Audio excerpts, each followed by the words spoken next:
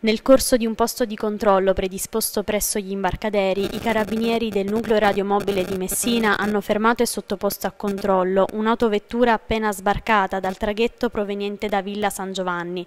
Insospettiti dall'atteggiamento visibilmente nervoso del conducente, gli operanti hanno effettuato una perquisizione personale e veicolare, all'esito della quale hanno trovato circa 10 kg di cocaina, suddivisi in 10 confezioni, che l'uomo aveva riposto all'interno del bagagliaio del dell'autovettura.